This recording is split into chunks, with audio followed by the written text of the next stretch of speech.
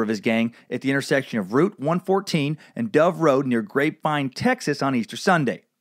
Unbeknownst to Bonnie and Clyde, six officers, led by Texas Ranger and all around dude not to be fucking trifled with, Frank Hamer, a man who'd been tracking the pair relentlessly for weeks, were hiding behind some bushes on the side of the road, ready to ambush the pair. And when they heard that Ford's big V8 revving towards them, the lawmen didn't ask the two to pull over. They opened fire. They filled that Ford full of 167 rounds of ammunition pouring out of their Remington Model 8 and Browning automatic rifles. They had zero interest in bringing them in alive, and they were far from alive when the shooting stopped. The coroner's report listed Clyde being hit by 17 bullets and Bonnie getting 26 pieces of lead in hers. How did their lives get to the point where the law wanted them that dead? Find out in this ill fated lovers gangster edition of Time Suck. You're listening to Time Suck.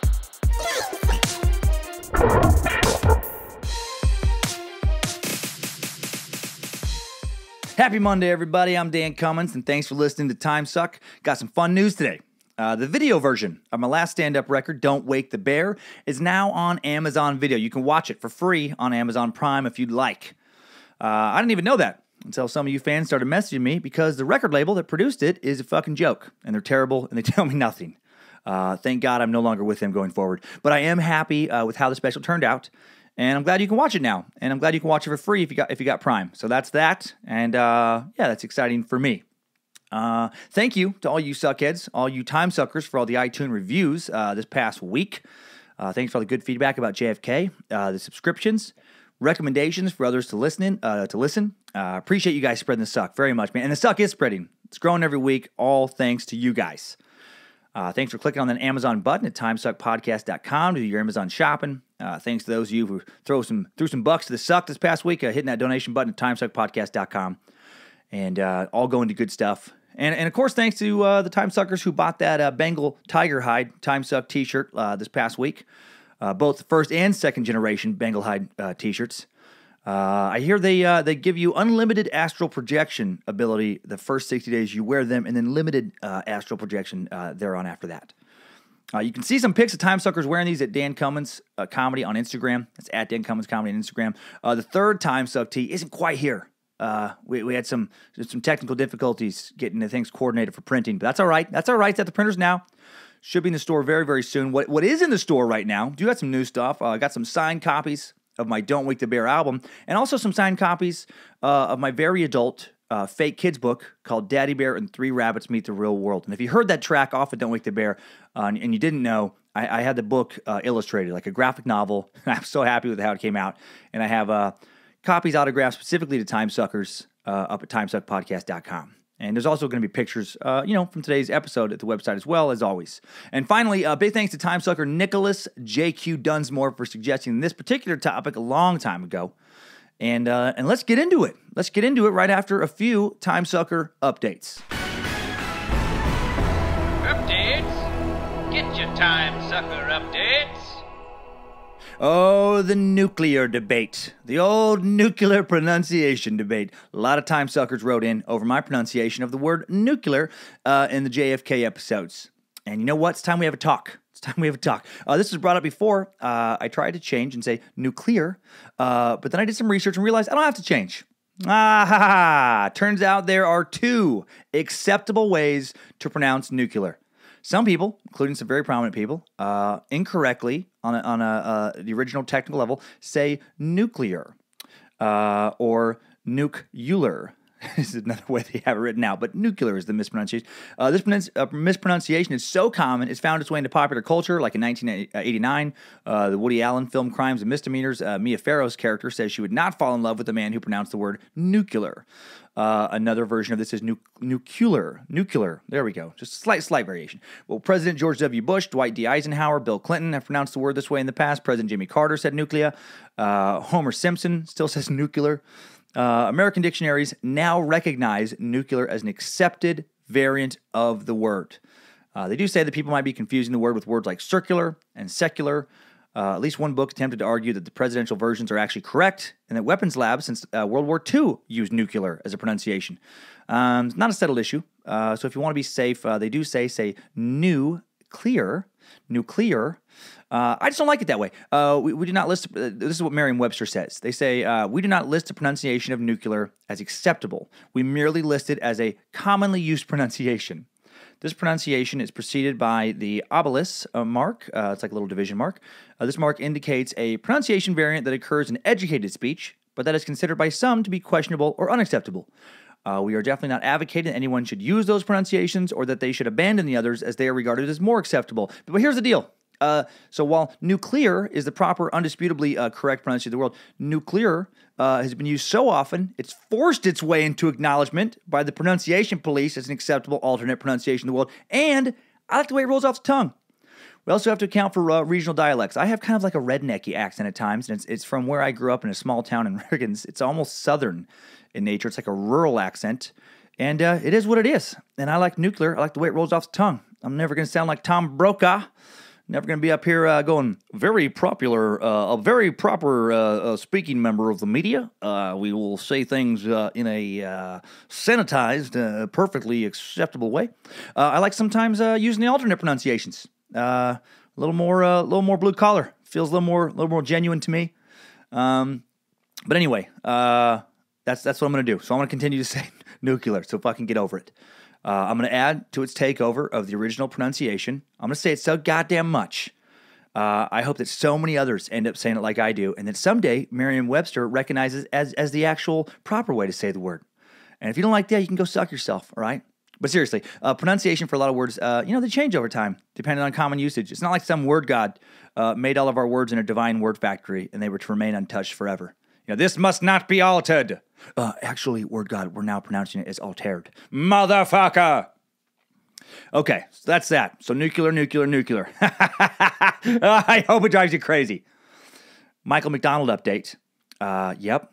Time suckers Scott Long and Brandon Thomas let me know that Michael McDonald and Kenny Loggins, who I both mentioned several times, were on the Tonight Show uh, with that funk bass maestro Thundercat just the other day on June 5th.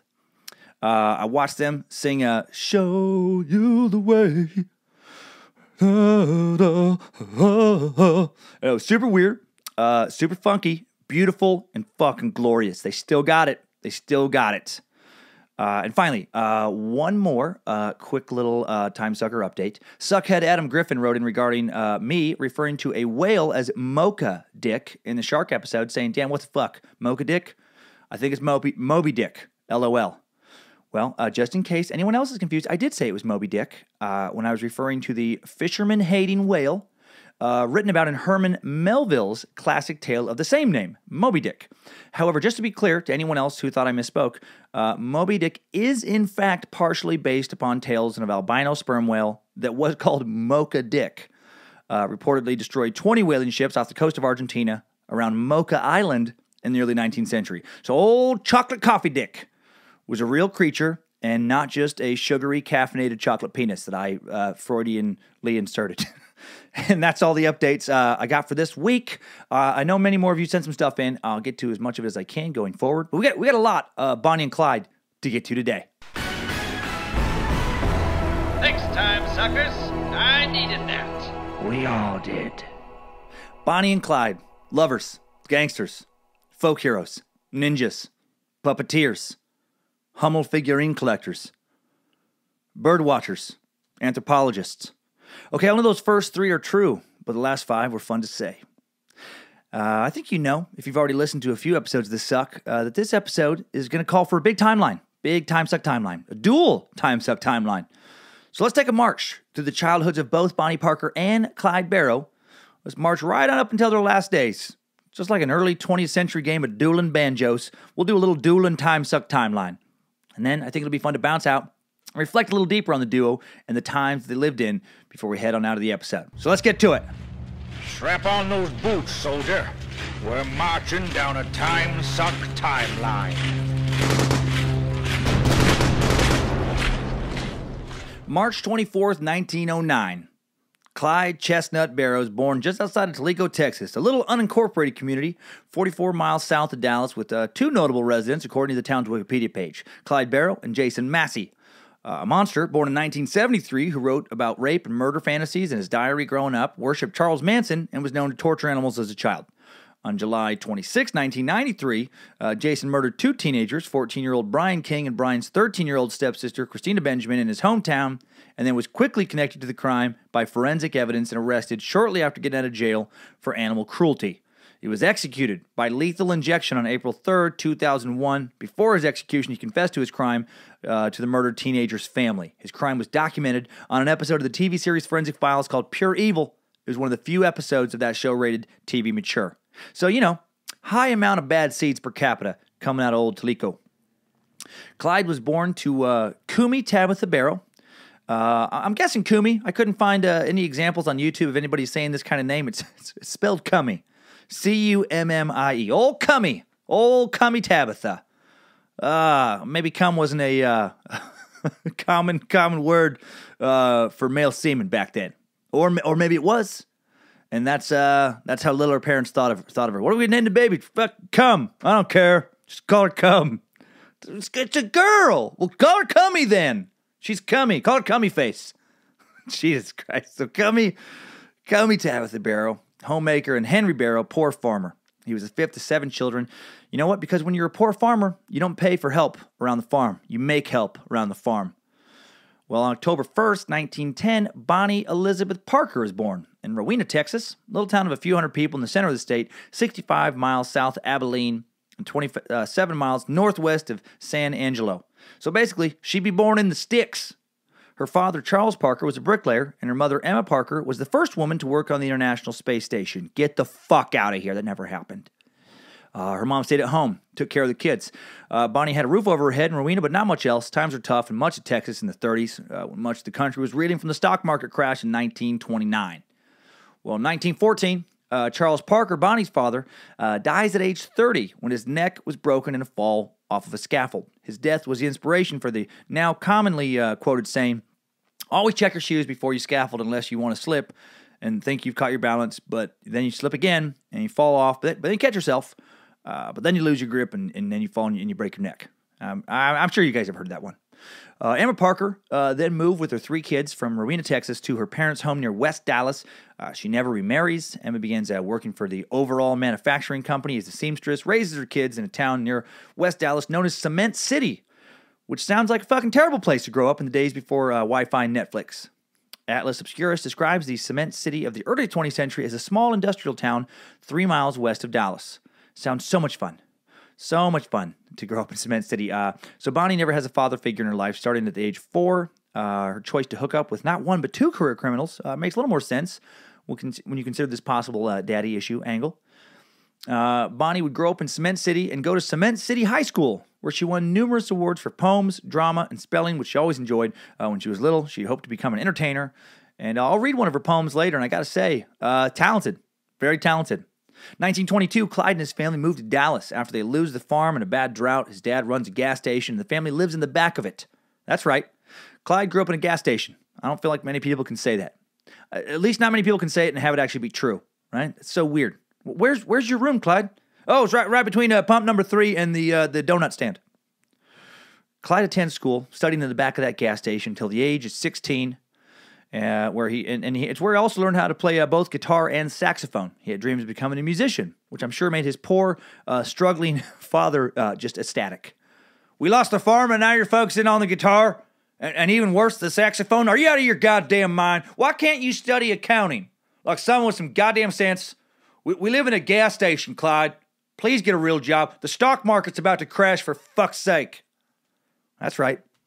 Henry Barrow, both cursed and predicted the future. Uncommon for a poor farmer in those days. Uh, 1925, young Bonnie Parker meets Roy Thornton. Bonnie met Roy Thornton late 1925 in Dallas. She's working as a waitress. Uh, Bonnie was 15, and 18 year old Roy was already a petty thief whose actual job title uh, was welder. Uh, Bonnie was so crazy about Roy that she even had Bonnie and Roy tattooed in hearts on her inner thigh. Scandalous tattoos were around for sure uh, back in the 20s, but not super popular. Uh, Bonnie definitely had some bad girl in her. September 25th, 1926, the pair marries almost right away, and uh, they dive into a tumultuous relationship. Here's a, an excerpt from her diary. Well, what would I do with these old time sucks if these fucking assholes didn't keep diaries? What a, what a lost art. Now all people have shitty Facebook posts.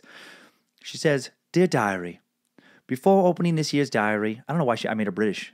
That's uh, what, let's just run with it. Before opening this year's diary, I wish to tell you that I have a roaming husband with a roaming mind. We are separated again for the third and last time. The first time, August 9th to 19th, 1927. The second time, August 1st to 19th, 1927. And the third time, December 5th, 1927. I love him very much and miss him terribly, but I intend on doing my duty. I am not going to take him back. Let all men go to hell. But we are not going to sit back and let the world sweep us by. Hmm, All right, very dramatic. I like it. But, you know, le- legit drama. You got this kind of dude in your life. Uh, when Roy uh, returned in early 1929 after being gone for nearly a year, uh, Bonnie does finally kick him to the curb. Uh, and then Roy wound up in prison again for robbery. And even though Bonnie washed her hands of him, she felt it would just kind of look dirty, like sort of dirty, to file divorce papers while he was locked up. So she never did. Uh, she was still married to him when she would die later.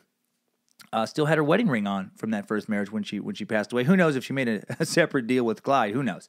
Uh, no one knows on that. But then, side note on Roy, just like her next man, Clyde, old Roy uh, would end up getting shot to death.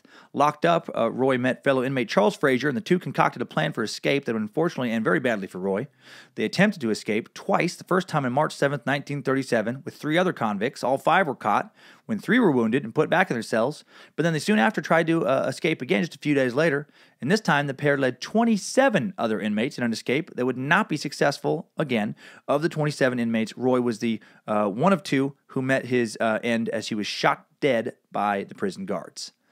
Okay, well, 1926, uh, around this time, old Clyde, he was turned into a life of crime. Shortly after leaving uh, high school, uh, he was arrested for the first time on a charge of auto theft in 1926. His dad was probably happy that at least he just wasn't sitting around playing the saxophone. Uh, I don't know if that sentiment's true, but he was arrested. Clyde allegedly uh, initially arrested for automobile theft as a result of neglecting to return a rental car. Uh, I didn't even know they had rental cars back then. While these charges were dropped, Clyde was arrested again only three weeks later with his brother Buck, who would later initially refuse to join the Barrow Gang during the height of its notoriety. Uh, and then uh, Buck, I mean, uh, Clyde was arrested for uh, possession of a truck full of stolen turkeys. And then Bonnie, uh, uh, in January 1930, Bonnie uh, meets Clyde Barrow. A friend who witnessed the uh, courting remarked, I could tell in Bonnie's eyes and her voice and the way she kept touching Clyde's sleeve as he talked, I, I knew that it was different from the young girl love she'd given to Roy. Even locked up, Roy heard about Bonnie running around with Clyde, and according to friends, he wanted to kill Clyde. I'm sure he did. When Bonnie took Clyde home to meet her mom, uh, he didn't exactly make a good impression. Police showed up and arrested him at her mom's house for a robbery he committed in Waco and various counts of auto theft. Man, I'm sure Emma Parker was just overjoyed. Her daughter's husband is in jail already. Now she brings home a new guy who gets arrested in her house. She, she probably probably poured herself a stiff drink in the uh, old Mother of the Year mug.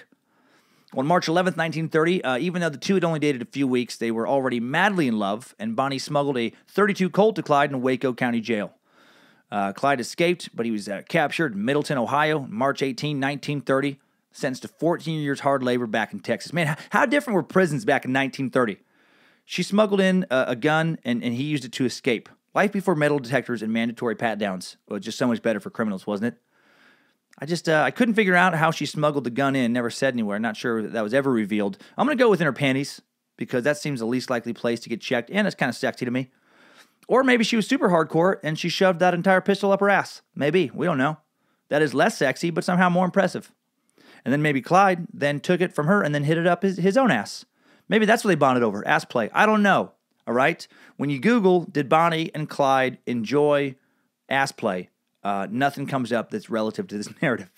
Uh, by 1930, Clyde was incarcerated in the uh, Eastham prison farm on, on a 14 year term for automobile theft, robbery, and of course for his jailbreak. Uh, known as the Murder House or the Bloody Ham, uh, Eastham uh, was notorious for its tough working and living conditions and uh, as well as guards who would beat inmates with trace chains and perform random spot killings, all of which substantiated by the were substantiated by the Texas State Legislature, Legislature, and the Osborne Association on U.S. prisons, which ranks the Texas prison system as the worst in the nation in 1935. Damn. In 1972, prisoners at Eastham filed a class action lawsuit against the Texas Department of Corrections and won. In 1979, the court found conditions of imprisonment uh, within this uh, prison system uh, cru- uh, constituted cruel and unusual punishment. Uh, if cruel and unusual punishment was going on in this place in the early 70s, one can only imagine how horrific it was back in the early 30s. Uh, well, during his time at Eastham, Clyde transformed from petty criminal to emotionless killer when he murdered Ed Crowder, a man who had been sexually assaulting him since he entered the prison. Ed was a vicious man known as Big Ed, six feet tall, 200 pounds. Clyde was only about 5'7, buck 30. He didn't have much of a chance to fight off Ed initially, but then Clyde decided he'd had enough of getting raped in prison. Uh, he, you know, he'd stabbed Ed, and he, he got a, in an altercation with Ed in the in the prison, and uh, and stabbed him 15 times with a shank around midnight on October 29th in their cell. After that, uh, Clyde was done taking anyone's shit. While in Eastham, Clyde also witnessed uh, other murders. He, uh, he once out, uh, watched a young inmate being murdered by an older convict. All this left Clyde feeling just kind of hopelessly despondent. Meanwhile, unbeknownst to him, his, uh, his mom is getting close to getting him paroled. She's fighting for that. And then, unaware that her uh, attempts actually uh, become successful, he has a fellow convict chop off two of his toes with an axe. He did this uh, so he could get a break from his uh, prison work duties on the farm while recovering and just uh, in the prison infirmary. Man, how bad is that? How bad are the working conditions where you're like, know what? I would rather chop off my own fucking toes than go out there and work on that chain gang for one more day. My God. Uh, well, uh, six days after cutting off his toes, uh, he gets paroled. He gets that. Uh, he gets that little pardon. So, uh, well, not a pardon. He gets. I'm sorry, early parole. Man, what a bitch that must have been. What what what mixed emotions you must have when you you're like, oh yeah, I'm out. Ah, ah, I cut off my ah, fucking toes. God damn it. Well, Clyde uh, never fully recovered uh, physically or mentally from his stay in Eastham. He'd walk with a limp for the rest of his short life, and his criminal career goal uh, became not to get rich off of robberies, but to uh, enact revenge on Eastham. Before getting out, he enlisted future gang member Ralph Fults in a, in a plan to raise enough money and ammunition to raid the prison farm and kill all of the guards after his release. Ugh. Well, February, March 1932, immediately after being released from prison, the Barrow Gang uh, forms to include core members Clyde Bonnie, Raymond Hamilton, W.D. Jones, Henry Methvin, uh, Clyde's brother Buck Barrow, and Buck's wife Blanche Barrow. And uh, they didn't form with all these members initially, but those would be the core members over the uh, the brief few years uh, that the gang would be around. And let's talk about these members really quick, get a feel for who these people are. We'll start with Raymond Hamilton. Uh, Clyde and Raymond had grown up together outside of Dallas. Raymond would go on to commit numerous robberies, even a murder or two with the gang. Uh, and they would also uh, later break him out of prison. When Hamilton got taken back into prison, he was executed on May 10th, 1935, at the Texas State Penitentiary, Huntsville, Texas, by electric chair. And according to witnesses, Hamilton walked calmly and firmly to the chairs and seated himself with the words, Well, goodbye, all. all right. Uh, William Deacon, W.D. Jones. W.D. Jones. Uh, W.D. Jones is who uh, uh created WD 40. Um, he, he, was robbing robbing cars and things, and he d- uh, developed a grease uh, to help things squeak less, to alert the police to less of the squeaks. Of course, I just I just made that up poorly. Uh, no, W.D. Jones, uh, just a dude uh, who was 16 when he joined the gang in 1932. he came from a family that was dirt poor. he too had grown up with Clyde. First meeting him when he was just five years old. Uh, when he was six, his dad, older brother, and sister all died of Spanish flu within a couple days of each other. So, like Bonnie, you know, like Clyde, you know, he or uh, like Bonnie, excuse me, he grew up without a father, and maybe he saw a strange type of kind of father figure in Clyde. Uh, WD has been portrayed in media depictions of the gang as a dumb kid who uh, would run errands and just kind of did what Clyde told him. And then later, in an interview with the November 1968 edition of Playboy, uh, WD would agree with that depiction. He would say that was accurate. Uh, the number, November 1968 Playboy uh, uh, Playmate of the Month, by the way, was Paige Young, a young woman with a dark connection to Bill Cosby. Paige Young would kill herself with a single pistol gunshot to the head in 1974, writing in her suicide note that she was sick of being used and tossed aside by men. One of these men may have been Bill Cosby, who was rumored to have obsessed with Young during the height of her fame in the late 60s, and the two supposedly dated behind his wife's back for months. Bill Cosby, uh, gonna have to do a time suck on that motherfucker when all the smoke clears and we know exactly what all the real stories are. Well, uh, WD would end up getting arrested in Houston on November 16, 1933. He was convicted of murder without malice and sentenced to 15 years for a crime uh, he had committed with the Barrow Gang. Interesting crime designation murder without malice. Yeah, yeah, sure. I, I killed the feller, but I, I wasn't ain't no mad at him all in all, uh, he reconciled himself to me as a real genial fellow. Uh, he just happened to be a standing where I needed to be a, a, man, not a standing to be. And, and that's how he got himself shot all up to hell. There weren't no malice in it anyway, no how. Well, in February 1935, W.D. would also receive the maximum sentence for harboring in Alabama. Two years applied to run concurrently with his murder sentence. After six years in the Huntsville Penitentiary, uh, he would then get paroled. Jones would get out of prison in 1941 and live for many years next uh, door to his mom in Houston. He'd marry for a time, live a fairly quiet life, and then just like Bonnie and Clyde, he too would die by the bullet. Uh, in the early morning hours of August 20, 1974, joined Jones, accompanied by an acquaintance to a friend's home where she thought she would be given a place to sleep. Uh, he goes along there, and then the friend does not allow, allow her in. An altercation ensues, and at 3:55 a.m., this friend shot Jones three times with a 12 gauge shotgun. Three times. All right. Uh, the man told police that Jones was a nice person when sober, but that he knew of Jones' reputation and was afraid of him. Goddamn. Uh, Jones was buried on August 22 at Brookside Memorial Park in Houston. Now we got Buck and Blanche Barrow. There was Marvin. Uh, Marvin Ivan Buck Barrow. And his people loved throwing names around. Uh, Clyde's older brother, six years his senior.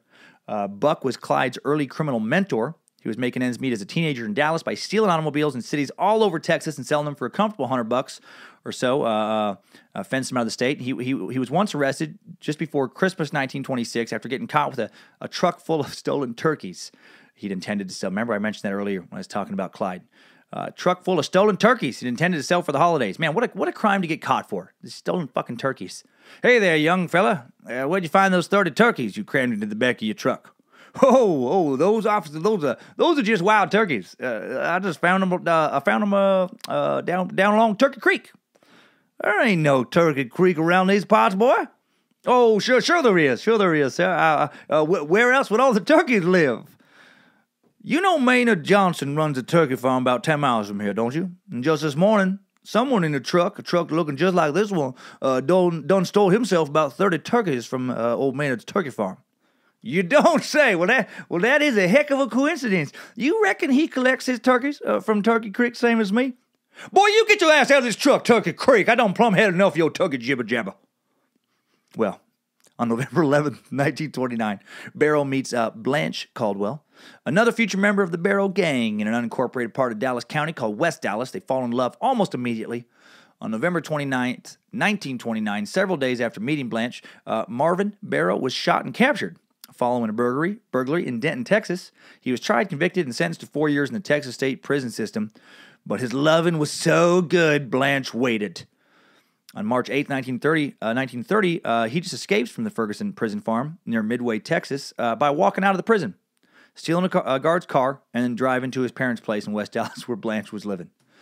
Man, uh, Blanche already living at his parents' place. God, fucking relationships happened quick back then. no, no messing around. And my God, the amount of people uh, who get shot in this uh, time suck is staggering. And, and again, uh, what a great time to go uh, into prison in, in, the sense that people seem to break out of prison all the fucking time back in the 20s and 30s. Clearly, they were still working out their security measures if dudes are literally just walking out the door. Somebody had to have gotten their ass reamed at, least that day. Just how in God's name do the inmates keep getting out of this prison? Well, Warden, uh, the good news is they ain't sneaking uh, through the fence. Uh, we don't check the whole fence, and, and, there ain't no holes in the fence no more.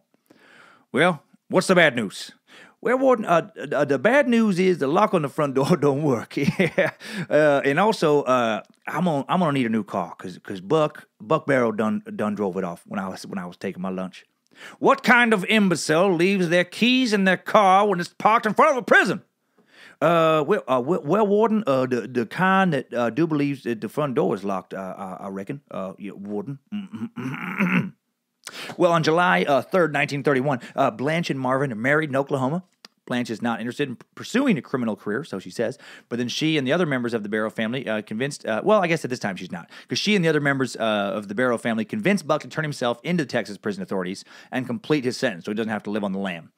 Well, two days after Christmas, 1931, his mom and his wife drive him to the gates of Huntsville Penitentiary, uh, where he told surprised prison officials that he had escaped almost two years before and he needed to resume his sentence, and they just welcomed him in. that is fucking hilarious to me. Uh, I don't think you. I don't think that would work that way now. I don't think they'd be like, yeah, yeah, yeah. Don't even worry about it. Uh, we still have your old uh, locker in by your cell. Why do, why do I think that prisoners have lockers all of a sudden like it, there is the fucking gym?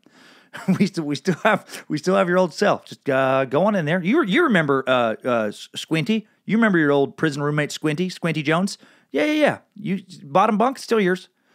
Fuck no, you'd get like uh, it's so much more added to your sentence. But I guess back then they were just like people were escaping from prison so, so often. If they if you came back in and they just didn't have to chase you down, they was like, yeah, no, that's great, fine, fine, come back, come on back. So uh, before he served two years of his six year sentence remaining, uh, he was abruptly pardoned uh, part of uh, uh, Texas Governor Ma Ferguson's plan to decrease prison crowding, and uh, partly due to the lobbying efforts of his wife and mom. Well, prison didn't seem to reform Buck. I don't even know why he went back, because shortly after his release on March 22nd, 1933, uh, in the company of Blanche, he joins his younger brother Clyde's and gang uh, in Joplin, Missouri, where he went on to participate in several armed robberies, the killing of several police officers, and then on July 19th, 1933, get himself shot in the head. Oh, these guys, these guys. Um, they just couldn't. They couldn't stay out, stay away from crime. He was mortally wounded uh, after getting shot in the head in a shootout at the Red Crown Tourist Court at Platte City, Missouri. The bullet opened a large hole in his forehead, exposed his brain, and ca- caused severe loss of blood. Uh, Blanche was also wounded in the same gunfight. Uh, she'd lose sight in one eye. Uh, despite his horrible head wound, he was still fully conscious, talked, and ate. And then, incredibly, old Bucky head wound got into another gunfight. July 24th, Buck, near death, was wounded in the back during yet another shootout. This time near an abandoned amusement park between, uh, between Redfield and Dexter, Iowa. Bonnie, Clyde, W.D. Jones, all wounded in the same gunfight. They escaped.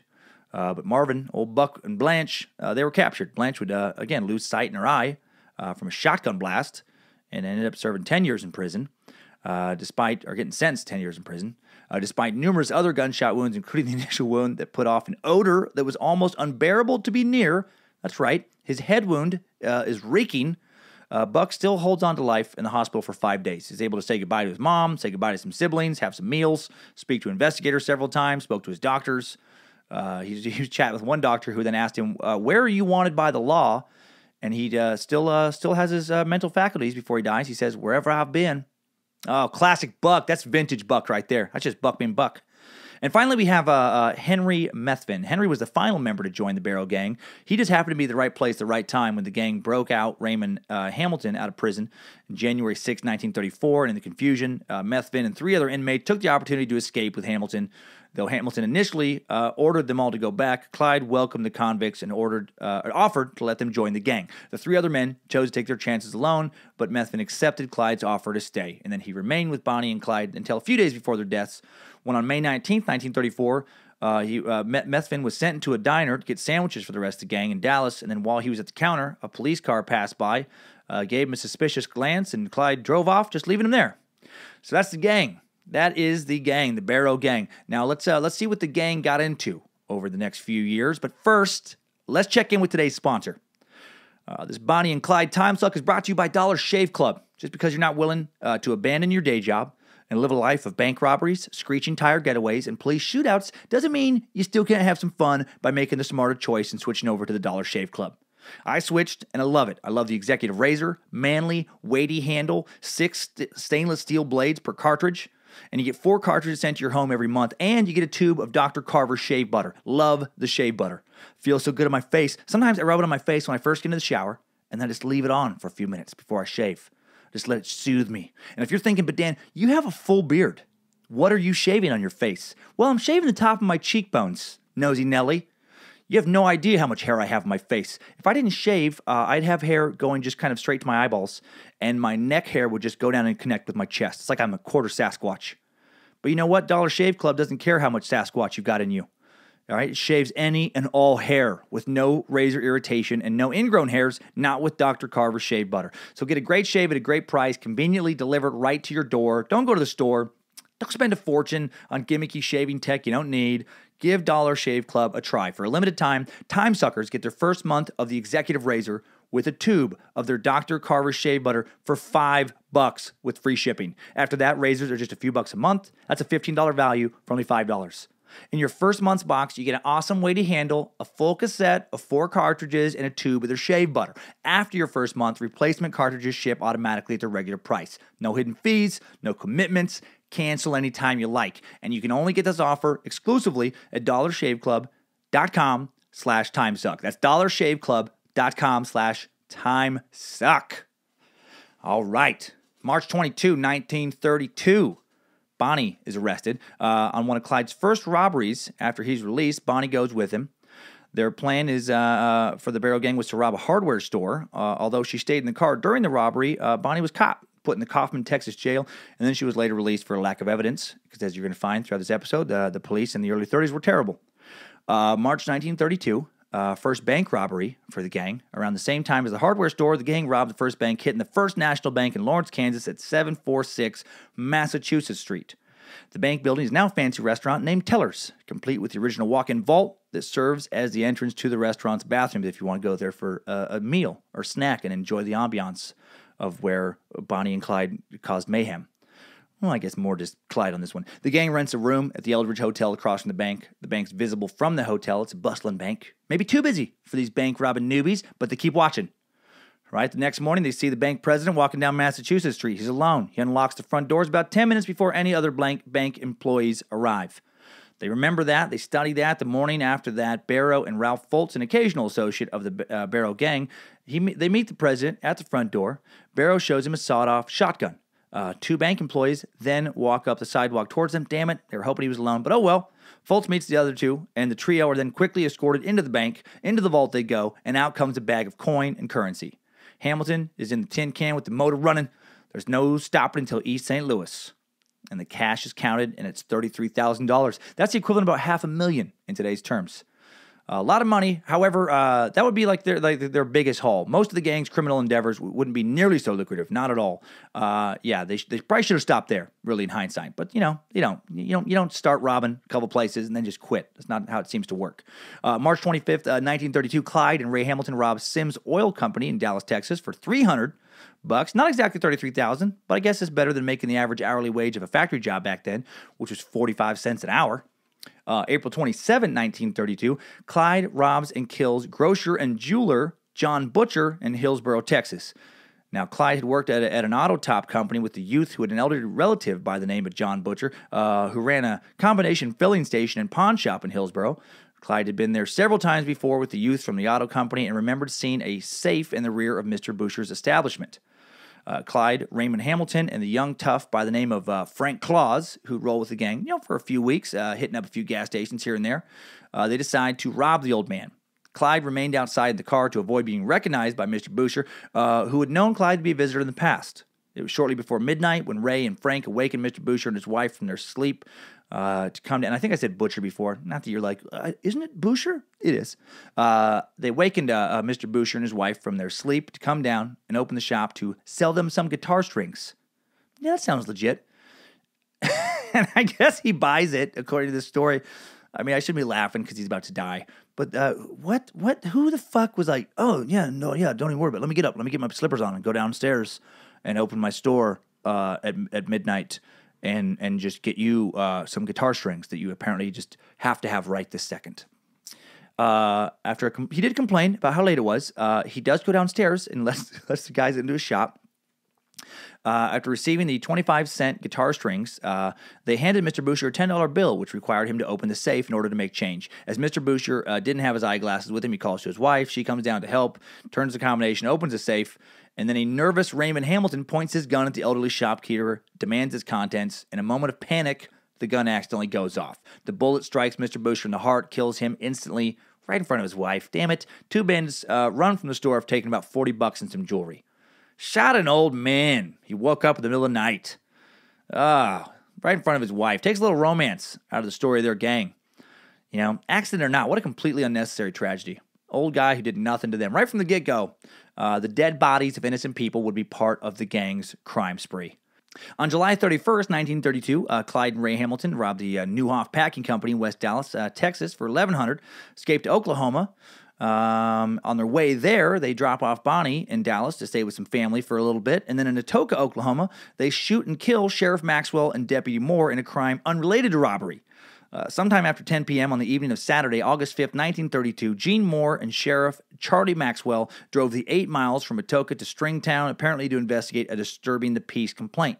Sheriff Maxwell may have called on Moore and, and not another available deputy to accompany him to Stringtown because he wanted to ride in Moore's new Chevrolet.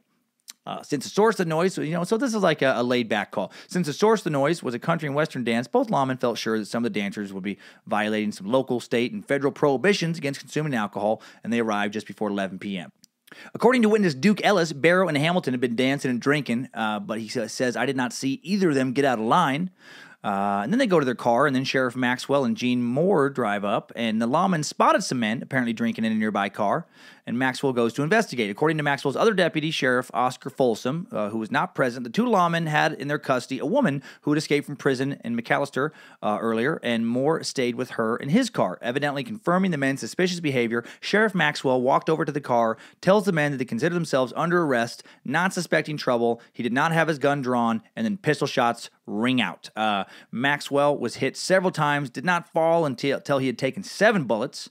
Moore leaps from his car, ducks behind a Model T for cover, draws his gun, raises up to see that the assailants uh, are there, and immediately was dropped by a single bullet from a 30 caliber Stevens automatic rifle. As Barrow and Hamilton made their getaway, they continued to fire shots back at the fleeing crowd. When help reaches the fallen lawmen, they found Moore dead, but Maxwell still alive. Uh, reportedly close to death, he was taken to McAlester Hospital, where following surgery, he recovered, though he was crippled for life, according to the newspapers. Yeah, I bet. He was shot seven fucking times. Uh, the more I learn about this gang, the more I understand why Bonnie and Clyde were shot to pieces when they were finally caught. They didn't hesitate uh, to shoot anyone else uh, when it benefited them, or at least their gang. All right, she clearly wasn't there, but you know what I'm saying. Uh, so why should they be treated any differently? The manner of their death seems kind of fitting, actually. And, and if you're wondering why they kept bouncing around between so many different states, it's because back then state cops couldn't pursue you across state lines, not legally. Uh, not all states had passed a form of the Uniform Act of Fresh Pursuit, in the early uh, 1930s, allowing state police to cross state lines when pursuing a person or person suspected of committing a felony. So, you like, you know, you could rob a bank in Kansas City, Missouri, for example, and if you could avoid getting caught until you made it to Kansas City, Kansas, you could get away with it, unless you caught the attention of the feds who could track you anywhere. Well, Clyde and the gang knew all these state laws very well, and that's why after uh, almost all their crimes, they would bounce as fast as they could to the next state. August 6, 1932, Bonnie rejoins Clyde near Grand Prairie, Texas, and on August 13, 1932, Bonnie and Clyde took Sheriff Joe Johns of Carlsbad, New Mexico, hostage. He found it suspicious that a bunch of young adults would roll into town in a brand new Ford. He ran the plate number and found out it was stolen. Uh, follows them to where they were staying with some relatives, questioned them, uh, and to arrest them. Bonnie answers the door uh, when he knocks.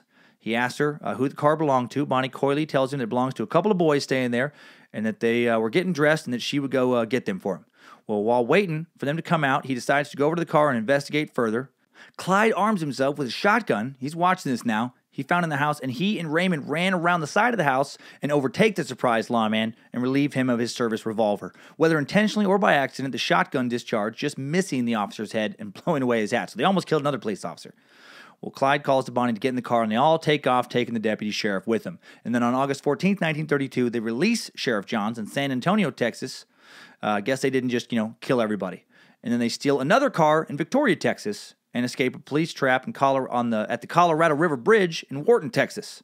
Man, just constantly fucking barreling down the road, going from one crime to the next. October 8th, 1932, Clyde and Ray Hamilton rob a bank in Cedar Hill, Texas for 1400 bucks. Three days later, commit another murder.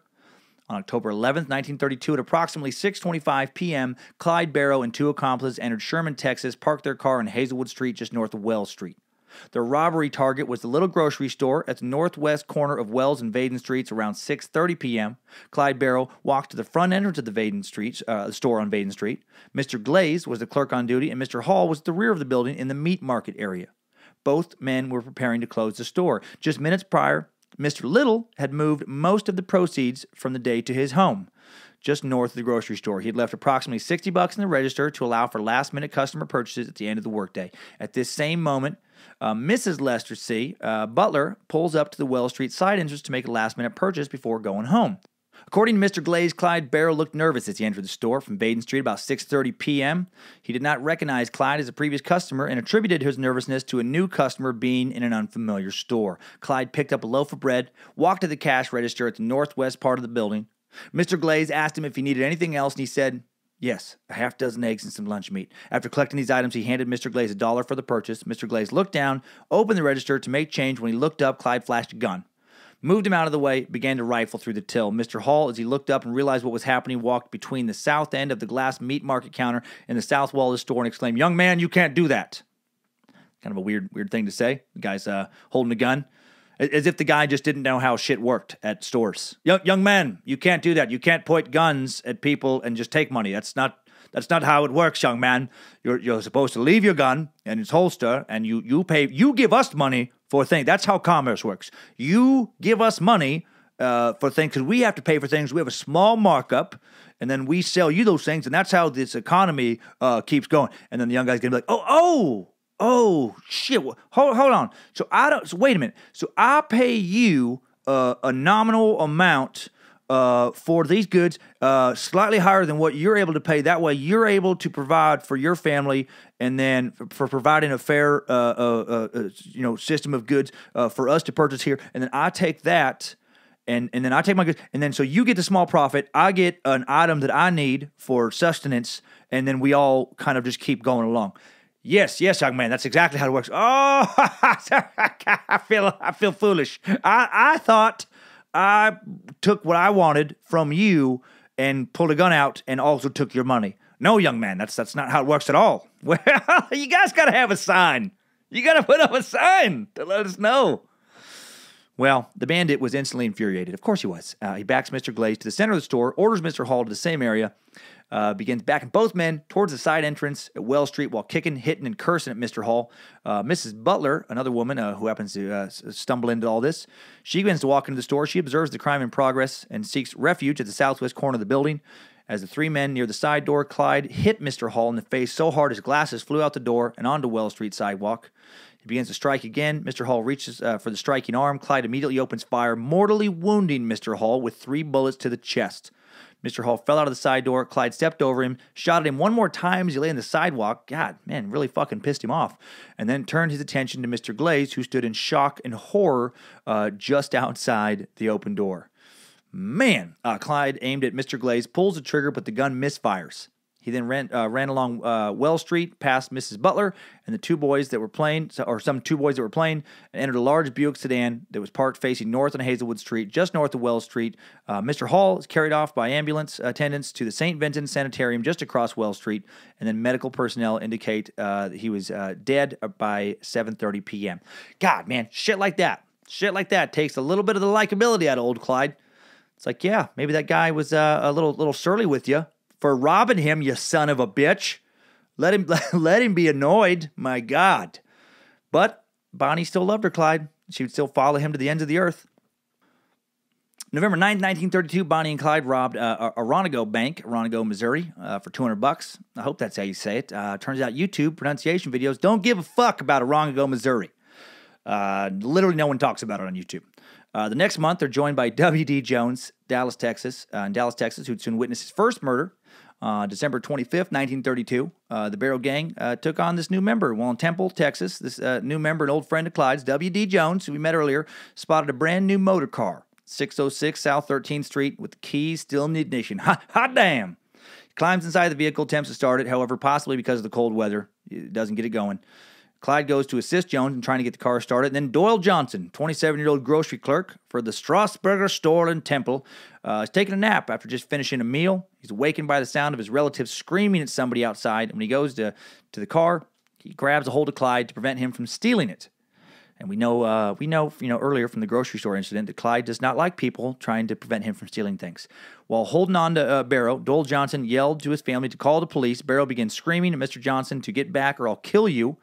Clyde's again not happy. Uh, when he continued to struggle with the young car thief, he gets shot in the neck, falls lifelessly to the ground. Bonnie collected Clyde and WD in the faster Ford V8, and together they made their getaway. Doyle Johnson died the next day. That's uh, what happened. I'm surprised he made it that long after getting shot in the neck. On December 26, 1932, leaving behind a young wife and infant son. Again, man, uh, Clyde, man, ruthless motherfucker. Uh, he did not hesitate to shoot people if they uh, tried to intervene in any way. January 6, 1933, uh, Clyde escapes ambush, kills two more investigators, Malcolm Davis and Fred Bradbury in Dallas, Texas. Hold another officer hostage, policeman Thomas Purcell, uh, for a few days later. Drop him off uh, six hours later after taking his gun on the way to their Joplin, Missouri hideout, the location of perhaps their most famous gunfight outside of the one that took their lives. March 22nd, 1933, Buck Barrow receives that pardon we mentioned earlier from Huntsville Penitentiary, uh, is released. Um, yeah, I think I referred to it as a, a parole possibly earlier. Uh, you know what? They go to they go to in and out of jail so many goddamn times. It gets confusing. I guess it doesn't really matter. Paroled, fucking pardoned. Says here he got pardoned. He, he was released, and then he and his wife Blanche uh, head to Joplin to join his little brother's gang. Uh, yeah, this this particular time but it, it is so crazy. There's just like so many conflicting dates. I think I, I I don't know why. There's just so much information about Bonnie and Clyde out on the web, but like no two websites seem to agree. Uh, so one website will attribute uh, one timeline to them, another one attributes another. So I kind of just you know had to like keep bouncing around through all these different articles and just kind of go with the ones that seemed uh, the most legit. Um, you know, so again, some of these things would say pardon, some of these things say parole. I think we're getting, I think we're getting the basic facts right about these motherfuckers and getting just kind of a general good idea of who they were. Um, people who just constantly were stealing and robbing and killing and in and out of jail. Um, so yeah, so he's released. Him and Blanche, Buck and Blanche, they go to Joplin to uh, join his little brother's gang. Uh, man, a couple days out of the joint, uh, and they're right back at it. Uh, April 13th, 1933, uh, is when they reunite. And uh, it's Buck and Clyde and Bonnie and WD and, and, Blanche, and they're all hanging out in a newly constructed apartment in Joplin, Missouri at 34th Street. Uh, it's still there, and Oak Ridge Drive, two blocks off of a main street for 12 days. And then a patrol car pulls up in front of the apartment's garage doors on April 13th. five lawmen tipped to the possibility that outlaws might be in the apartment approach the dwelling, and that would be a big mistake for them. Uh, without warning, the outlaws opened fire on the lawmen. Turns out this little apartment had tons of windows. Uh, they were always prepared to leave really quick. They always parked the car like they backed it into the garage so they could make a quick escape. Uh, Harry McGinnis, 53, a Joplin detective, John Wesley Harryman, 41, a Newton County constable, were shot. Harryman died instantly. McGinnis would die later.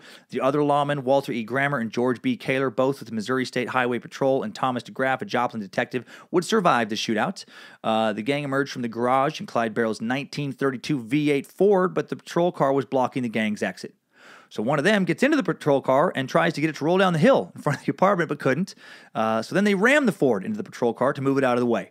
After that, they fled south on Main Street and eventually escaped through Spring City. Man, and and and again, I guess it just sucked to be the fucking police back then. I feel like these guys are just you know manhandling them every time Bonnie and Clyde and their very kind of small skeleton crew gang encounter any police officers. They just fucking destroy them.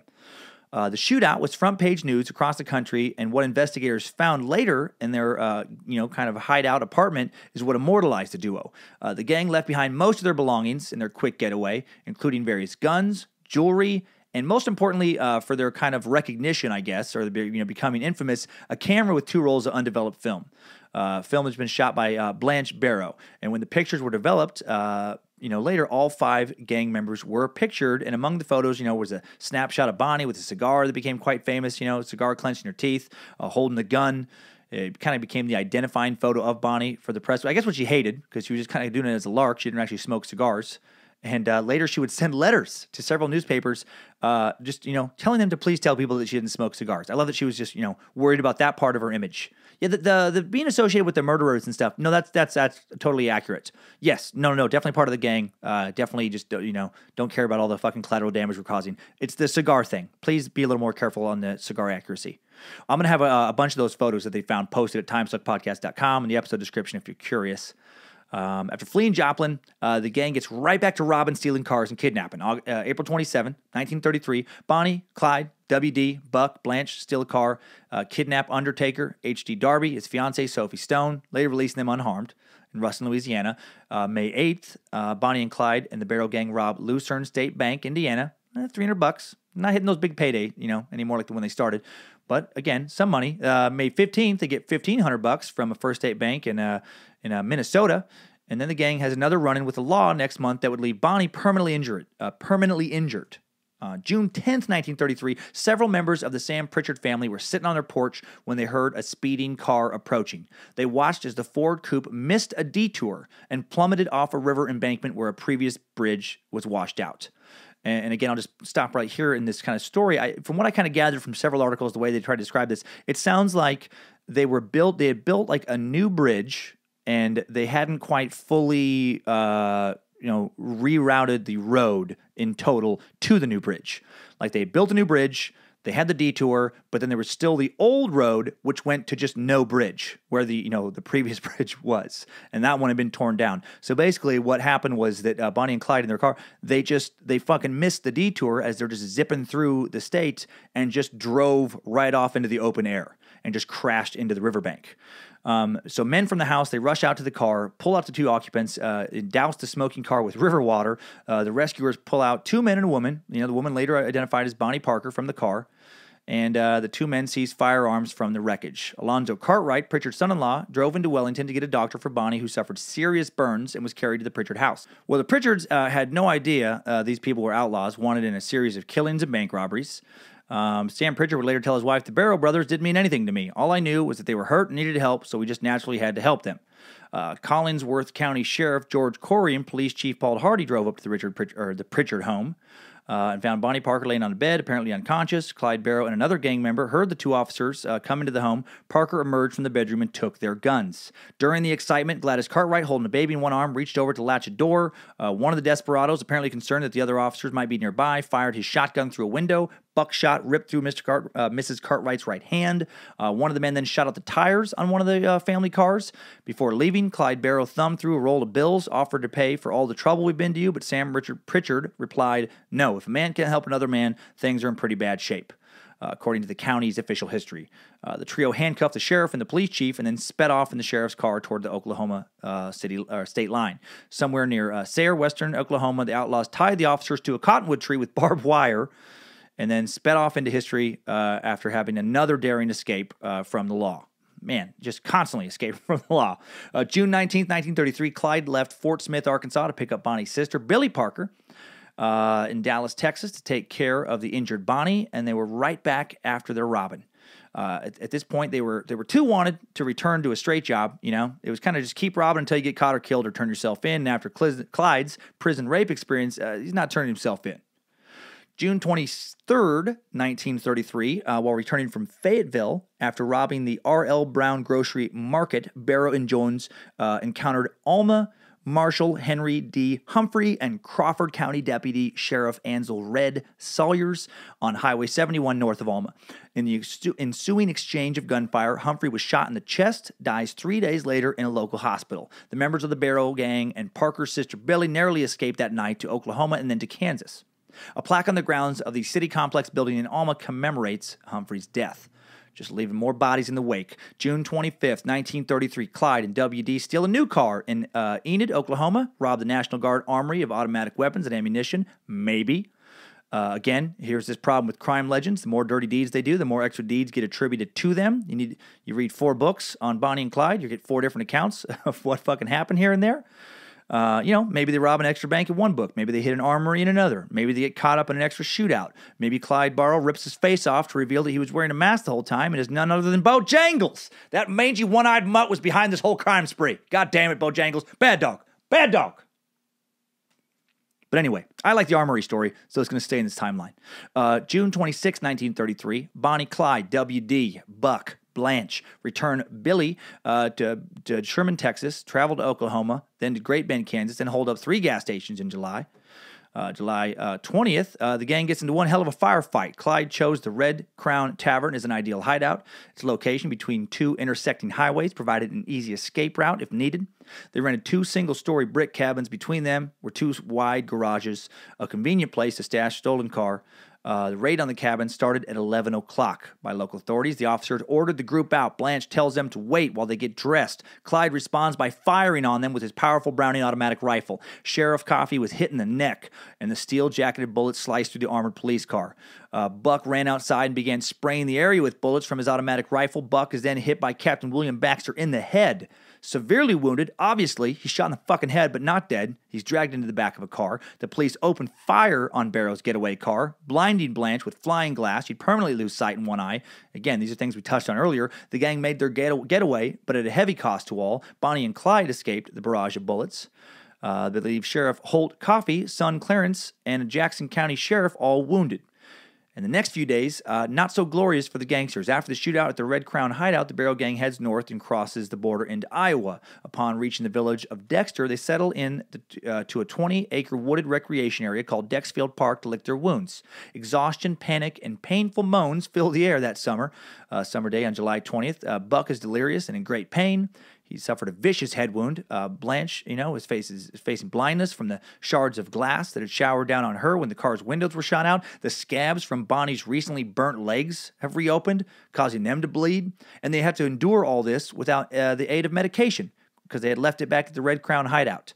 Man, this is the this is the not fun part at all of being a gangster on the run. Uh, after making rough beds on the ground for Buck and Bonnie, the lesser injured busied themselves in washing up at a nearby stream, applying makeshift bandages to Buck's head and Bonnie's legs. That had to be great for Buck. Yeah, yeah, no, I, I know we can see your brains. I, I stop fucking crying about it. I know we can see your brains, but don't even worry about it. I know I'm not a doctor, but I do have a bandage that's been washed in a creek. And w- let, hear me out. Let's just wrap it on your brain and then just try not to think about it. Try not to think about it. That's the best we can do right now. I think you, you'll probably be okay. That's fucking terrible. Uh, well, uh, Clyde's plans for returning his brother back home to his mother then become a priority because he does not expect him to survive these horrible injuries, which he does not. And I guess earlier they'd promised their mom that if either one of them were badly hurt or dying, they would bring, uh, they would come back home to her. What a fucking terrible position for a parent. Well, that's that's the state of your kids. We're like, look, I know you're gonna be fucking career criminals. I know you're gonna rob and kill. Just would you just do me this? When you die, which will probably be soon, try to get home to mama so I can say goodbye before my baby dies. Like that's the position they put their mom in. Um, on the third day, uh, a third day of doing this on July 23rd, they've been uh, hi- hiding, hiding out uh, in in the woods here. Uh, the group goes to buy some medical supplies and food, leaves the campsite for a few hours, and then a local who's been taking a stroll through the park finds evidence suggesting that someone had burned some bloody bandages. He heard the radio reports telling of the possibility of wounded fugitives being in the area, calls town marshal John Love, who then con- contacts Sheriff C.A. Knee. Sheriff Knee didn't take any chances, as he knew he would, who he'd be dealing with. Uh, he makes a call to his dentist friend, Herschel Keller, who's also a National Guardsman. I don't know why the article had to uh, refer to him first as dentist, and they form a posse. Uh, I feel like National Guardsman maybe more important to dentists. Kind of, kind of weird when you first read across that. You're like, and so he did what he needed to do to catch these criminals, and he called a goddamn dentist. Because if you can't fucking catch criminals with the police, well, it's time to get a dentist involved. No, no, no one, no one makes a better apprehender than a dentist. Uh, well, they sw- they swear in a couple new deputies, uh, locate every farmer or storekeeper uh, who owns a fucking pistol, surrounds the campsite, which was vacant for the moment, uh, and they take up their, positions in nearby bushes, hide out by late afternoon. The two bullet riddled cars return to the campsite. The posse uh, remains in the bushes, surveying their prey. WD is busy inspecting the damage to the vehicles while Clyde is meticulously cleaning their weapons. Plans have been made to return the dying Buck Barrow again back to their mom in Dallas. Uh, they throw caution to the wind. They make a campfire, and while Dee is cooking some sausages, Bonnie's brewing some coffee. Gunfire erupts from the bushes surrounding the camp. Bonnie screams. Every one of them starts grabbing for their weapons. Uh, even Blanche, uh, who usually was not uh, one of the trigger people. When they begin to assemble uh, near the cars, Clyde jumps behind the wheel of one of them, puts it into gear. He begins to drive to the car to where the others have been waiting. Just then, a bullet strikes him in the arm, causing him to drive uh, into a tree stump. With the car disabled, Clyde and W.D. Jones advance to the other car, only to see it reduced to rubble by the onslaught of Posseman's gunfire. Buck receives a total of five gunshot wounds to his back. Five more shots. He's already fucking has an open head wound. He drops to the ground. Blanche has refused to leave his side. Now that both cars are eliminated as a means of escape, Buck and Blanche, unable to flee, Clyde, Bonnie, and WD make tracks to the woods nearby. And remember, Bonnie's running with fucking torn up, you know, scabs from her horribly burned legs.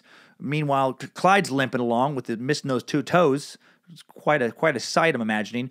Uh, as the lawmen close in, Blanche, holding on to her husband, begins to cry out to them, "Stop! Don't shoot! He's already dying." Uh, grabbing her by the arms, they pull her away from Buck's side, and Buck just lays there helplessly in a heap and does uh, die soon. And but the other ones get away again. How the fuck do these people constantly get away? They're on foot now. They're on foot. One of them has all messed up, burnt legs. The other one's uh, old, old fucking Clyde three toe, old sloth. He can't be. He can't be setting any land speed records. How fuck? How terrible were posses back then? Oh man, I need a time machine if I want to be a criminal and head back to the early 30s. Uh, and then again, yeah, July 29, 33, Buck does, uh, Barrow does die. We talked about that in his last words to the doctor, or one of the last words earlier. Uh, and then the gang takes another hit that summer when member Raymond Hamilton is captured, sentenced to a total of 263 years in prison. So he's going to have to live a long time to beat that uh, for various crimes he's committed with Bonnie and Clyde. He gets transferred then to the Eastham Prison Farm. Remember, we've heard about that, north of Huntsville, Texas, the same one Clyde had been raped in. Uh, and it turns out that prison is going to fuck Clyde twice. More on that in a bit. November 15th, 1933, W.D. Jones uh, is arrested in Houston, Texas, and gets that murder without malice charge I mentioned earlier. His time with the gang is over. On November 22nd, 1933, uh, the rest of the gang narrowly evades arrest while trying to hook up with family members in East Sowers, Texas. Their hometown sheriff, Dallas Smoot Schmid, seriously, Dallas is Schmoot Schmid, S M O O T S C H M I D. What a terrible name. No wonder he became a sheriff. You just fucking mercilessly picked on his entire life. He's, I'll show you when I'm sheriff, no one will be smudged the name of Smoot Schmid. Fuck. Your last name is Schmid, and your parents are gonna name you Smoot? What in the fuck? Anyway, old Schmoot, old Schmooshmid, uh, it, sounds like a piece of shit. It sounds like a type of shit. Like, what do you got on your shoe there? Ah, I got some Schmoot Schmid. Got some Schmoot Schmid on the back of my shoe. Well, take it off. Don't stink up the house with it. You clean that Schmoot off your shoe before you get in here. Old Schmoot Schmid and his squad, deputies Bob Alcorn and Ted Hinton, people with normal, respectable names, lay in wait nearby. As Barrow uh, drove up, he sensed a trap and drove past his family's car, at which point Schmid, old Schmoot Schmid, and his deputies uh, stood up and opened fire with machine guns, and, and, uh, and the family members in the crossfire not hit, but a bullet passed through the car, striking the legs of both Bar- Barrow and Barker. So both Bonnie and Clyde get shot in the legs. They're already fucking limping around. Now they got shot in the leg. Oh, but th- then they still escape. They still escape. I don't understand it. I don't understand it. I mean, I mean, were they really that good at being criminals, or were the police chasing them just that terrible? How many times did two people, two crippled people, slip out in a hail of gunfire and drive away? Man, being a cop in the days before CBs, you know, CB radios, cell phones, must have been a motherfucker. You can't call anyone for backup. You can't tell anyone where the suspects are headed. You just, you know, you form a posse, you head over to the hideout, you know, you shoot a bunch of bullets. and I guess you just kind of hope for the best. Well, Bonnie and Clyde, uh, they, they, they take making a mockery of authorities to another level to kick off 1934. On January 16, 1934, Clyde Barrow enacts some revenge against the Eastham Prison Farm, where gang member Raymond Hamilton is currently incarcerated. This successful attack on the prison would mark the beginning of the end of their crime spree. Bonnie Parker and Clyde Barrow sat in their Ford V8 coupe on a quiet Texas country road on Saturday evening, January 13, 1934. They were waiting for Floyd Hamilton and an ex convict named Jimmy Mullins to return.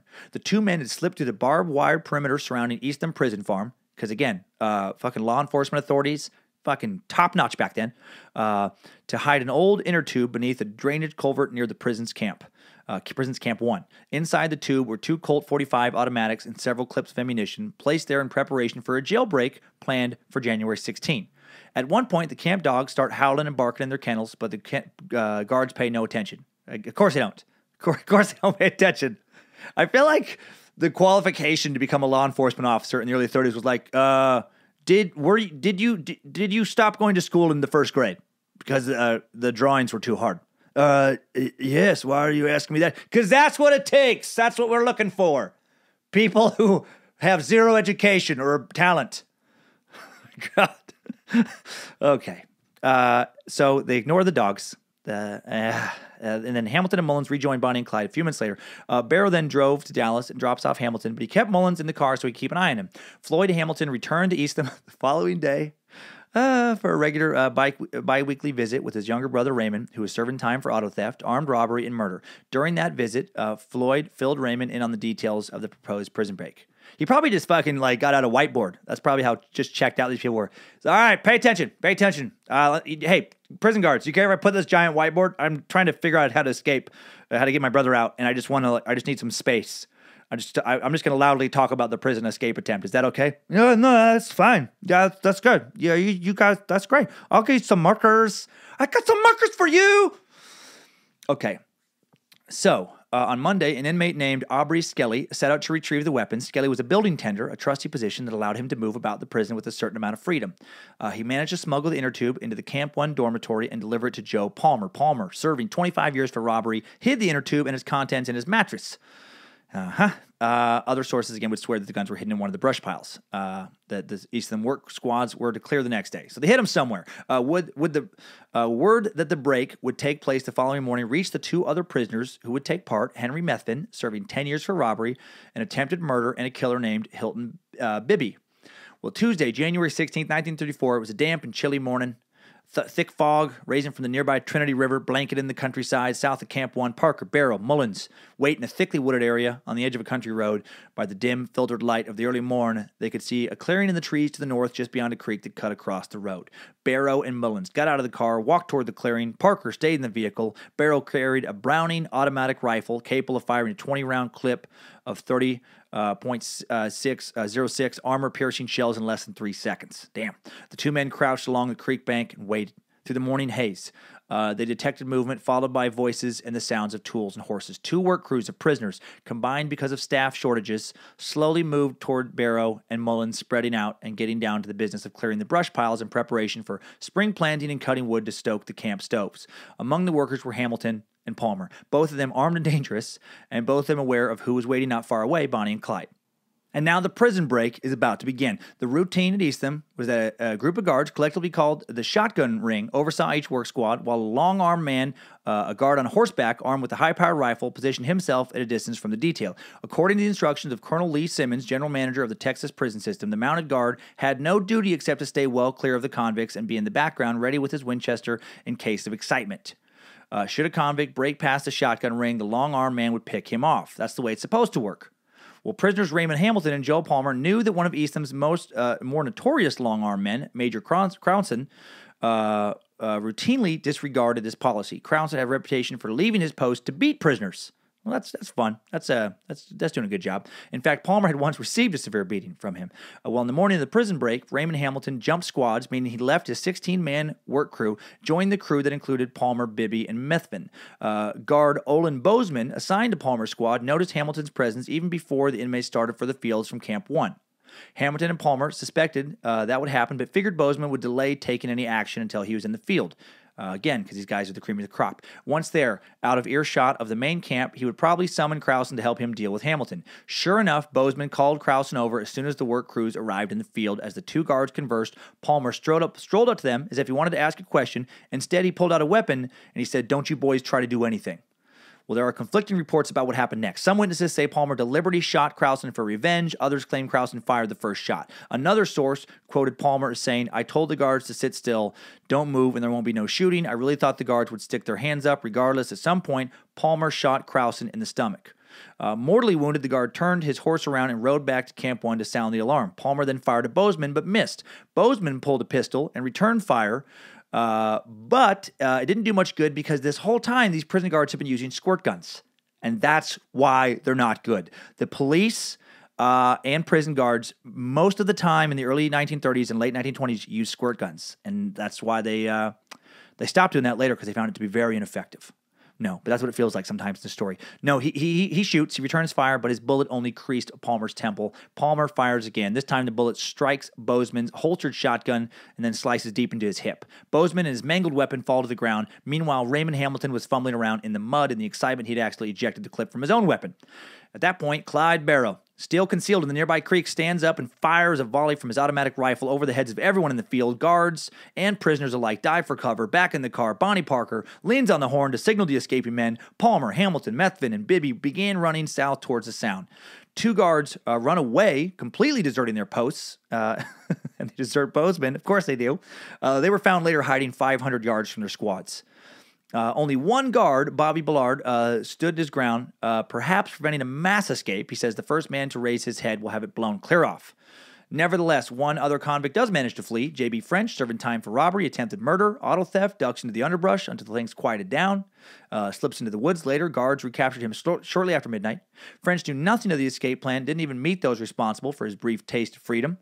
Uh, police later recovered the escape car from a, a ravine 10 miles northeast of Hugo, Oklahoma, shortly after the robbery of a nearby filling station.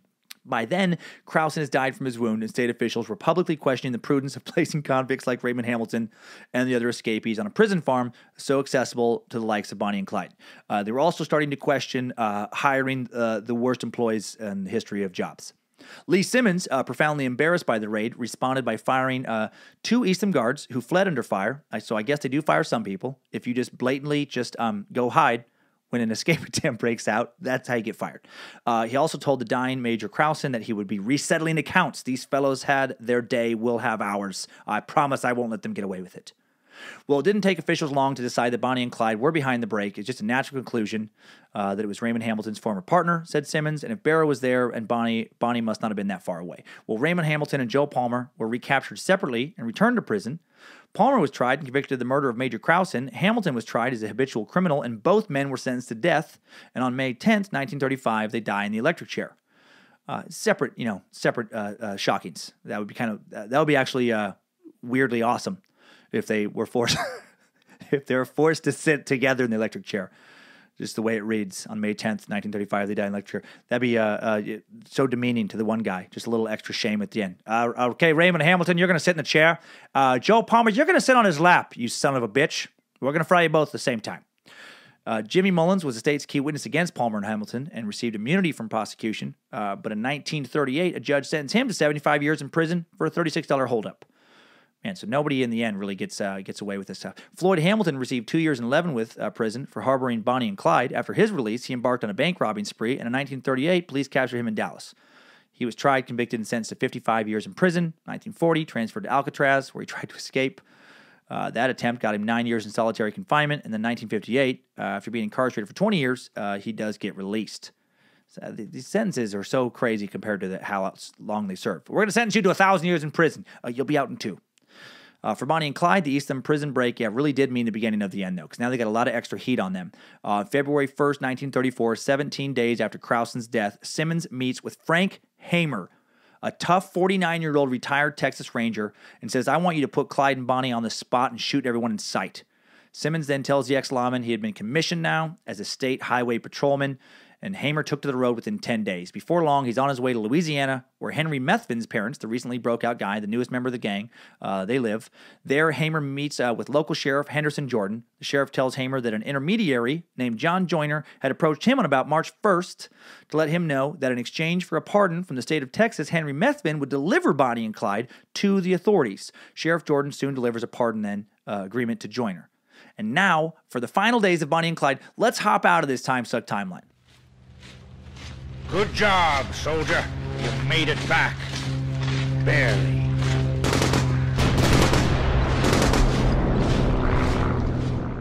All right, I want to talk about Frank Hamer, the man who would finally bring down Bonnie and Clyde. Uh, this dude was about as fucking tough as they come. Uh, but first, I want to talk about some morons. I want to talk about a new segment I'm very excited to introduce. As I research all these topics, topics, I inevitably come across posts that feature comment sections. You know, the message board threads, uh, YouTube videos, their own set of comments, you know, etc. And I'm continually amazed by the words and sentence fragments that uh, other people reading the same articles and watching the same videos feel compelled to write because their voices must be heard. And I laugh my ass off. And then just finally, you know, I, I realize why am I not sharing the best of what I find? You know, I'm seeing I'm seeing it. Why am I not giving it to the time suckers? What a great way to introduce a little comic relief into some of our heavier subjects. And so, you know, here we go with the very first idiots of the internet. Idiots of the internet. Okay, first up, insane conspiracy theorist Francis Goldstein, who left the following comment on a Bonnie and Clyde YouTube video seven months ago. He says, Bonnie and Clyde are fake. PSYOP to pass National Firearms Act and nationalizing police FBI. All the photos are fake and staged. They never robbed a bank or shot anyone. They are just actors, actors. No part of the story is true. It is a completely fairy tale. Okay. Uh, interesting uh, word choices and grammar there. Uh, look, if you listen to my JFK episode, you know I'm not opposed to a conspiracy theory, but good God, Francis. Bonnie and Clyde never existed. Uh, what next? The earth is flat? That there's an ice wall around it? NASA guards? You know, this ice wall to keep us from discovering that the moon landing was fake. The moon is full of space lizards monitoring our thoughts, monitoring our thoughts. Reel, reel it back in, buddy. Reel it back in. You know, whenever like you come across something like the like that lizard Illuminati theory, and you're wondering like, who fucking believes this shit? Or like flat Earth, like what? How would anyone believe this? You read comments like this, and you're like, oh, people like this Francis uh, Goldstein character. Okay, next we have Robert Conkle, who used uh, the comment section of a Bonnie and Clyde crime reenactment video to express his rage against the Clintons five months ago. He just totally out of context here. It was to think of what Bonnie and Clyde did, to think about how they were ambushed for their crimes, and me wonders, me wonders, uh, me wonders how the Clinton, how the Clinton have gotten away with so much, including serial killings, crimes against humanity, drug trafficking, and treason against the United States. Wow. Uh, again, really interesting grammar. I love it. I love it. Uh, how the Clinton singular have gotten away with so much, and how uh, against United States is his own sentence. Uh, really, really shoehorn that in that comment section. It makes me wonder how many other places old Bob Conkle is expressing his political opinions. You know, I'm sure we could find him across some other videos. Just to think of what Ursula did to Ariel, to think of how she was tricked. And me wonders how Hillary Clinton was allowed to trick American people with her trickery emails. Ariel almost died, lost her voice forever. Hillary Clinton should be silenced with her voice for treason, child trafficking, cocaine manufacturing, weapons building, Illuminati sacrifices. To think of what Michael Jordan did to Craig Ehlo, to think he made him look like a fool with game winning shot, and me wonders how many babies Hillary Clinton has shot. How has Clinton got away with so many rapings of families and families' pets, so many crimes as is, is, including selling Christian souls to demons, making Prophet Alex Jones cry, taking last ketchup packet at Wendy's, forcing me to eat dry fries? And finally, uh, my favorite. Uh, this is a comment left under an article about uh, uh, about the car that, that Bonnie and Clyde died in being replicated and sold under uh, the pretense of it being authentic. Uh, a little controversy. People were some, selling some fake Bonnie and Clyde death cars. And Pinocchio says on March 28th, 19, uh, 2014, uh, 9.51 a.m., he says, they knew they were going to die like the rest of us when and how. So here's what I'm amazed by this person. How are they able to read an article because this, is, this isn't a video. How are they able to read an article but not be able to write out one single coherent sentence? They knew we going to die. You know, maybe they meant they knew we were going to die, or they knew they were going to die. Uh, I could follow that uh, if it was, you know, they knew they were going to die. But then they go on to say, like the rest of us, when and how. Does that mean the rest of us know when we're going to die and how? I don't have the answer uh, to either of those questions. I don't think Pinocchio has either of those answers, to be honest. Uh, I don't think Pinocchio knows how to spell the word answer because instead of instead of spelling Pinocchio as P I N O C C H I O, uh, he spelled it as P I N O K E E O. Dude, you're already on the internet. Look it up on Google. Google will fix it for you, just like it did for me when I realized I didn't know how to spell Pinocchio. Education is important, everybody. It's part of why we suck, isn't it? And why I don't believe a Time Suckers comment will ever be featured in this new segment. Idiots of the Internet. All right, back to Frank Hamer. Hank, Hamer was a Texas Ranger uh, who'd been in roughly 50 gun battles, killed around a dozen men, saved African Americans from KKK lynch mobs in Texas, battled arms and drug dealers in the Mexican border, along with a handful of other Texas Rangers, once protected a black rape suspect from a mob of 6,000 enraged rednecks in Sherman, Texas. The man is the personification of fucking bravery, and we will dig into him further in an upcoming Texas Ranger time suck I'm excited about. And now, in early 1934, he'd come out of retirement to bring down Bonnie and Clyde. How fucking cool is that?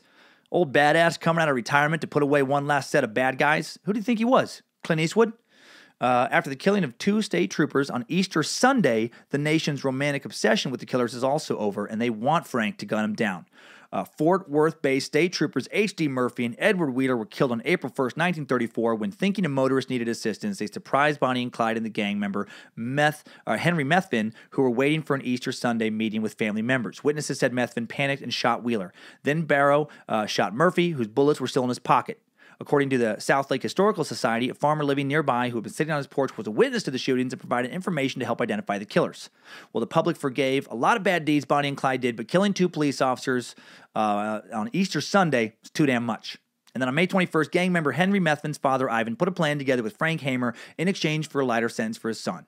Henry Methvin would find some pretext to part company with Bonnie and Clyde, knowing that the outlaws would plan to rejoin him at his parents' home.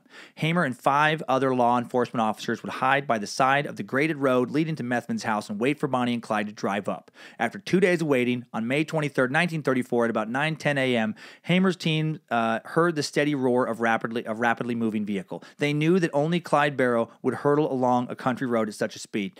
As the tan Ford V8 sedan approached, Bob Alcorn, the only officer who could identify Barrow on site, called out quietly, It's him, boys. This is it. This is Clyde.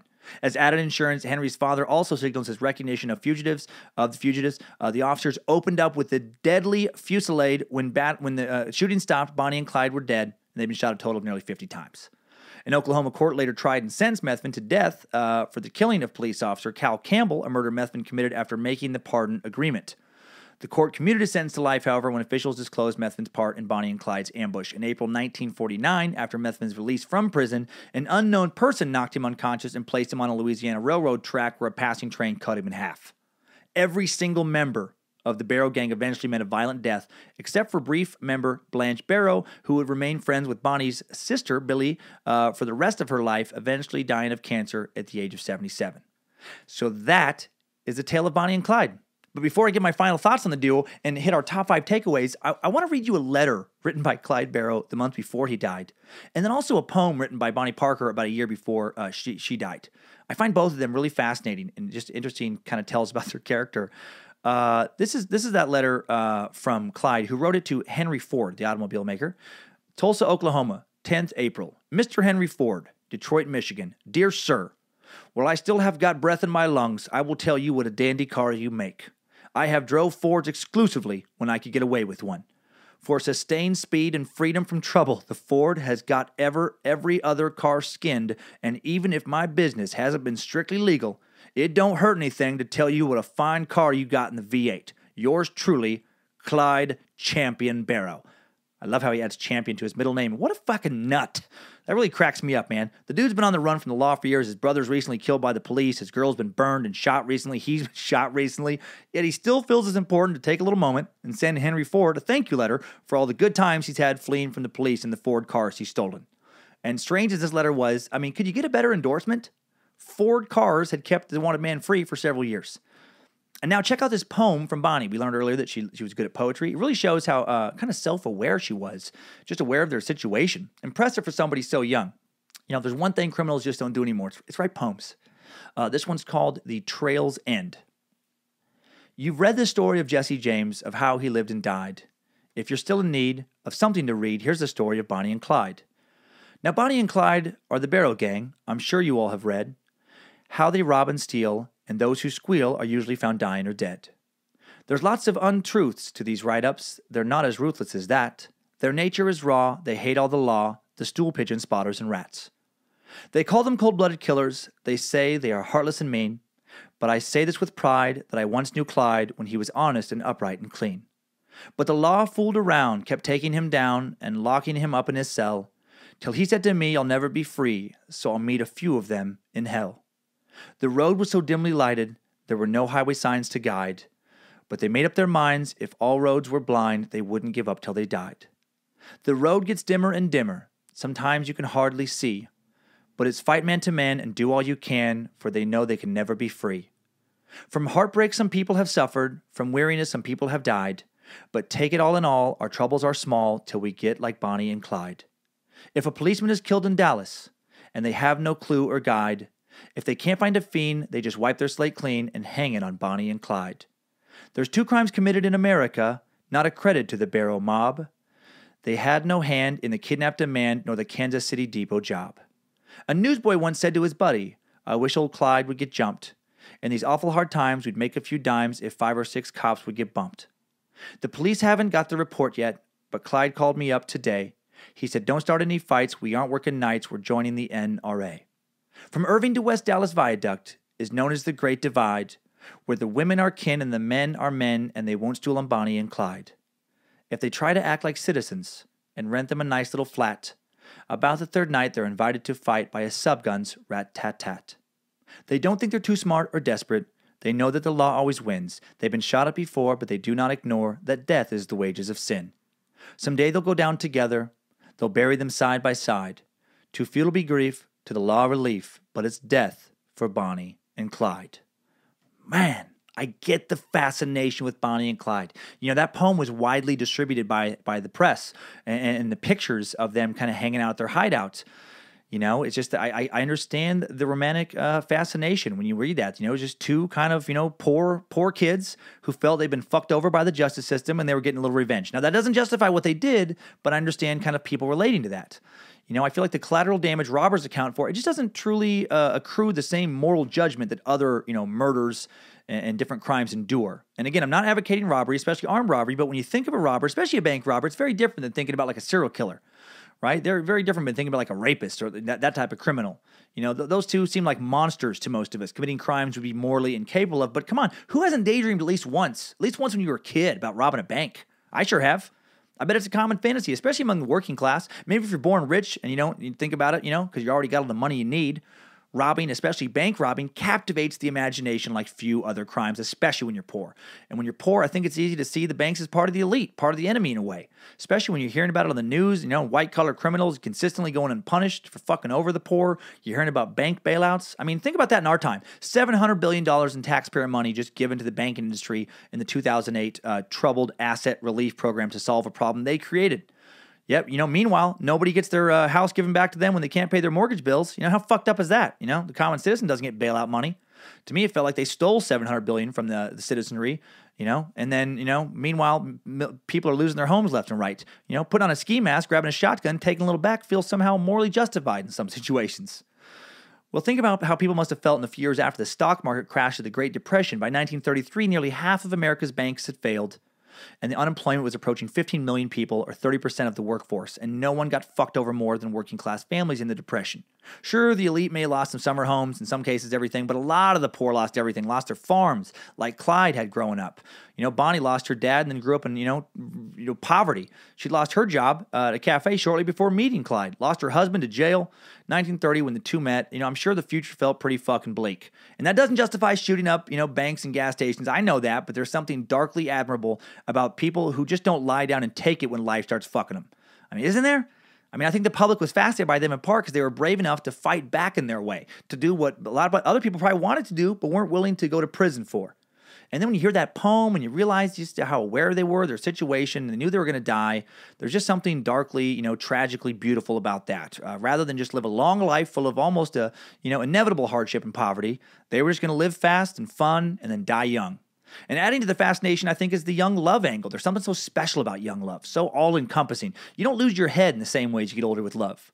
You know, you can love someone more deeply, appreciate them more maturely and fully as you get older, but you know, that mature form of love doesn't have that fuck everybody, fuck the world kind of sense to it. You know, that that other person is the only person that matters. I'm gonna fuck their brains out and fuck away the world. You know, that kind of fiery love, you know, you have when you're young. It's so powerful, so full of lust and living in the moment. And whether you actually have it or not, Bonnie and Clyde, or whether they had it or not, Bonnie and Clyde were perceived to have it. Imagine you're a regular old citizen back then. It's 1933 or 34. You're working two jobs to barely feed your skinny, dirty kids. You can't find work. Your husband can't find work. You're sitting at an old beat up table in an unconditioned, you know, or unair conditioned home, sweltering in the summer heat, freezing maybe in the winter because you can't pay the gas bill, staring silently across the table at your husband or wife, all dead eyed, a man or woman you have nothing to talk about, nothing new to discuss. Someone as depressed as yourself about the numbing prospect that their future may be even worse than their present. And then you hear about Bonnie and Clyde. Robin Banks, fucking in hideouts, sticking to the man. They must have seemed so goddamn alive. And I think what made them appealing is that they were attractive. It's not like Bonnie uh, had a unibrow or cankles poking out from under her moo or that Clyde, you know, showed up in photos with a big fat gut spilling over his sweatpants, a little bit of sausage gravy in his unkept beard. Now, Bonnie was a little thing, standing only 4'11, weighing 90 pounds. She had strawberry blonde curls, cute as hell, fashionable. You know, looking at her pictures, beauty pops out right away. Clyde was boyishly handsome, dimpled cheeks, strong jawline, great hair, looking dapper as fuck in those suits.